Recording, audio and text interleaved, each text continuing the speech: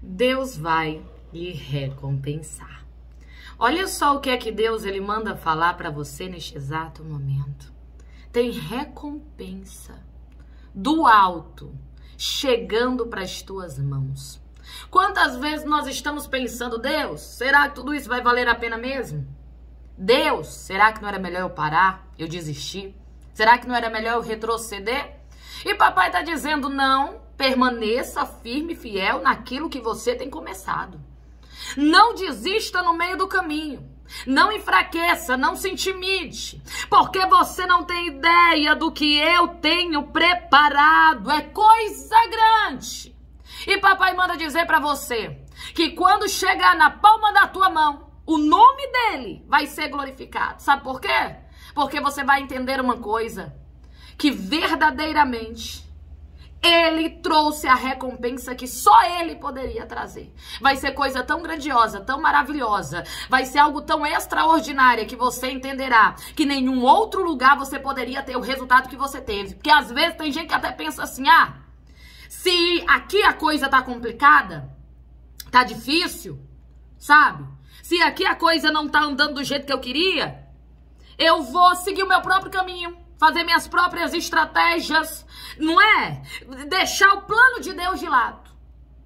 Mas deixa eu te contar aqui uma coisa: em nenhum outro lugar você terá o mesmo resultado que Deus tem para te dar. Natália, mas eu posso obter muita coisa em tal cenário, em tal lugar, de tal maneira. Posso conseguir isso, posso conseguir aquilo. Eu tenho força de vontade, eu sei trabalhar, eu, eu, tenho, eu tenho força nos meus braços, eu tenho saúde, eu tenho isso, tenho aquilo. Mas deixa eu te contar aqui uma coisa: nada que você pudesse alcançar pelos teus próprios esforços, por você mesmo dentro de um projeto que é só teu, pode se comparar com aquilo que Deus tem para te dar dentro do plano e do projeto dele. Então suporta firme, sustenta-te aí do outro lado, porque Deus manda dizer que você será recompensado. Declara: minha recompensa vem de Deus. Declara, minha recompensa vem de Deus. Querido, deixa eu te contar aqui uma coisa. Dentro do plano e do projeto de Deus, nós viveremos, sim, processos. Onde o inimigo vai tentar nos convencer que de outra maneira talvez fosse melhor. Tomando as nossas próprias decisões, sabe? Por nós mesmos. Talvez fosse até mais fácil. Porém, Deus manda dizer assim para você: ei, não há, não há nada que possa se comparar pelo teu próprio esforço do que Deus, no tempo dele, dentro do cenário dele, dentro do plano e do projeto dele, ele tenha para lhe dar. Nada pode se comparar com o que Deus irá te entregar. Então vale a pena suportar. Você tá entendendo? Você tá entendendo? Deixa eu te contar aqui uma coisa. A Bíblia vai nos falar a respeito de uma família que vai sair de Belém de Judá. Porque vai haver fome a família de Noemi vai sair por decisão do seu esposo, se levanta e vai para um lugar chamado Moab. Agora deixa eu te contar aqui uma coisa. Havia fome em Belém de Judá, mas ainda assim era o melhor lugar para ficar. Tem dificuldade na presença de Deus, querido? O próprio Senhor Jesus disse que a gente vai ter aflição. Tem dia que a gente só vai saber chorar. Tem dia que a gente só. Ei, tem dia que vai ser só Deus para nos sustentar. Tem dia que o inferno vai dizer: larga tudo isso daí, tu tá sendo é besta, tá sendo é bobo, tá sendo tolo. Ei, tu tá tendo é prejuízo. Para, deixa essa fé, deixa Jesus, deixa Deus de lado e vai fazer o que tu quer. Deixa eu te contar aqui uma coisa: tem dificuldade na presença de Deus? Tem. Mesmo com Jesus no barco, barco teve tempestade, mas não existe lugar melhor para estar do que com ele ele, ainda que tenha as aflições da vida, ele é Deus para nos sustentar. Você tá entendendo? Você está entendendo o que Deus está falando aqui para você? O inimigo ele é muito astuto, muito sagaz, querido. Tem hora que a luta vai estar tão grande, ele vai tentar aproveitar da nossa vulnerabilidade. Sabe? É, ele vai tentar se aproveitar da nossa fragilidade, tentando dizer que em outro lugar, de outra forma, do nosso jeito, vai ser melhor, vai ser mais suportável e até teremos mais, sabe, recompensa, privilégio e tudo mais. E é mentira do diabo. Porque não tem lugar melhor do que a presença do Senhor. Natália, mas tem coisa que eu tô passando hoje na fé, que nem quando eu não servia a Jesus eu não passava.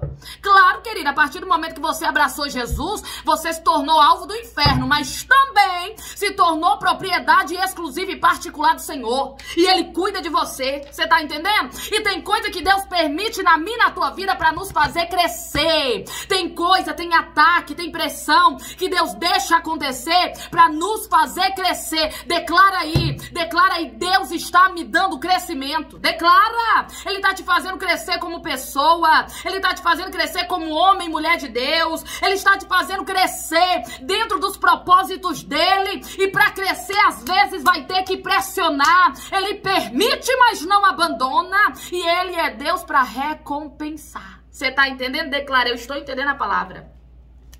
Declara, eu estou entendendo a palavra. A Bíblia vai dizer, querido que naquele momento que aquela família passa fome em Belém de Judá, que a fome chega, é, é sabe, eles decidem ir para um, um, lugar chamado Moab.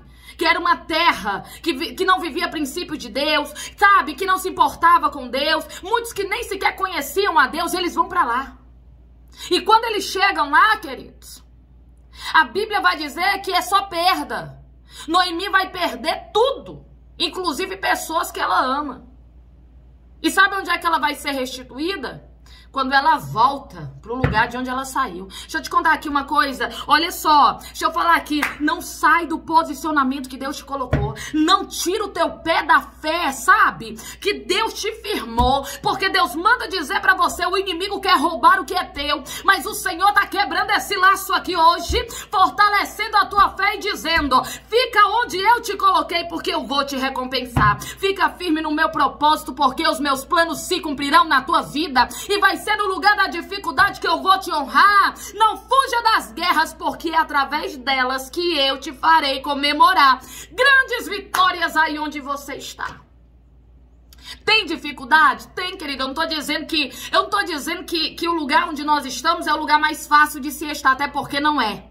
Porque nós sabemos que as guerras, as perseguições, não é? A inveja é grande. A luz que está em você incomoda as trevas que estão lá. Então sempre vai haver peleja. Mas deixa eu te contar aqui uma coisa: é através dessas pelejas que Deus te dá vitória.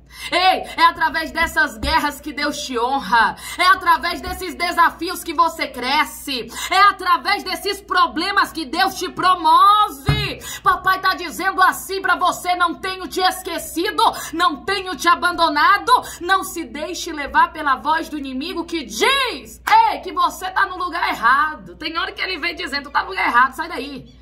Tu tá no lugar errado, em outro lugar tu ganhava mais. Em outro lugar tu tinha mais vitória. Em outro lugar tu tinha isso e aquilo outro. E assim, não, não importa. Eu posso estar no meio da tempestade. Jesus está no barco, então é aqui que eu vou ficar. Ei, posso estar dentro de Belém de Judá. Fome bateu na porta. Tá todo mundo passando por uma crise. Mas é aqui que o Senhor visita o seu povo? Pois é aqui que eu vou ficar. Porque eu sei que hoje é de luta, mas amanhã vai ser de vitória. Hoje é de grandes dores, mas amanhã vai ser de grande recompensa na presença do meu Deus. Deus manda dizer que Ele está vendo você no teu tempo de aflição e manda dizer para o teu coração: vai passar. O Senhor irá te recompensar. Vitória vai chegar. Não desocupa o teu lugar. Você crê, toma posse, recebe? Confirma aí nos comentários com o teu Amém. Amém, queridos. Deixa eu orar juntamente com você. Coloca aí teu pedido, vai. Coloca a tua petição, teu pedido de oração, que eu quero apresentar a tua vida a Deus. Antes, deixa a curtida, compartilha a mensagem com alguém, deixa Deus te usar aí do outro lado. Veio alguém no teu coração, então envia. Diz assim, ó, não desocupa o teu lugar não, que Deus vai te honrar. Não desocupa o teu lugar não, tem vitória chegando, é aí. Não desocupa o teu lugar na fé não, porque papai tá te vendo e não vai te desamparar. Envia para alguém que alguém está precisando ouvir isso. Amém? Vamos orar em nome de Jesus? Coloque teu pedido, tua petição, que eu quero apresentar a tua vida a Deus nesta hora. Oremos. Senhor, meu Deus e meu Pai, estamos aqui na tua presença para te adorar exaltar. Bendizer o teu santo nome. Deus, obrigada por nos fazer entender que, a, Senhor, as coisas não serão perfeitas e nem serão fáceis. Mas nós cremos que estamos no lugar certo, na tua presença. Pode ter tempestade, pode ter o levantar dos leões, meu Deus, pode ter serpentes tentando nos envenenar, pode ter gente lutando contra nós. A dificuldade pode ser grande, mas nós cremos que o Senhor não irá nos desamparar. E no tempo certo é onde nós estamos, que o Senhor irá nos recompensar. Eu quero declarar sobre você renovo. Receba renovo, receba renovo renovo. Receba renovo aí do outro lado agora. Em nome de Jesus, o Senhor sabe o quanto você está cansado. Ele sabe o quanto a, o teu corpo, a tua carne, sabe essa matéria aqui, ó. Ele sabe o quanto você deseja desistir, parar, retroceder, não aguenta mais, pensa que não vai suportar, porém Deus manda dizer que você vai avançar e ele irá te recompensar. Não desocupa o teu lugar, tem uma grande vitória chegando exatamente onde você está. Você crê, toma posse, recebe? Confirma aí nos comentários com teu amém. Amém, queridos. Glórias a Deus. Que Papai do Céu te abençoe poderosíssimamente. Marca três pessoas aí nos comentários para ouvir essa mensagem de Deus junto com você hoje. Que Papai do Céu seja contigo, ó. Beijo grande no coração. Fica na paz do Senhor Jesus. Amém.